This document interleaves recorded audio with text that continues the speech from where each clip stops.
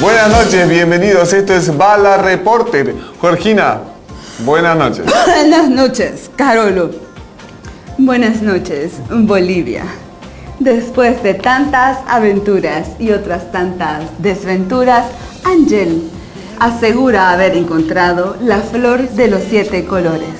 Esa flor que buscó por aquí, por allá y por acullá.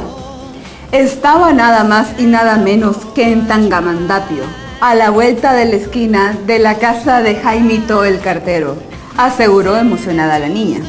Sin embargo, al preguntarle qué haría con la ansiada flor, confesó que tras tantos años de búsqueda ya ni recuerda para qué la buscaba.